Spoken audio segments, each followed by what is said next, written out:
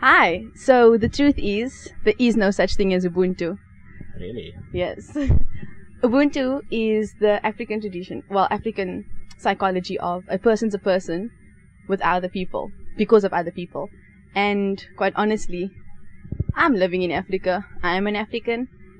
And maybe in rural areas, yes, but definitely not here in cities. Everyone is for themselves. Everyone looks after themselves. And yes, that's my truth.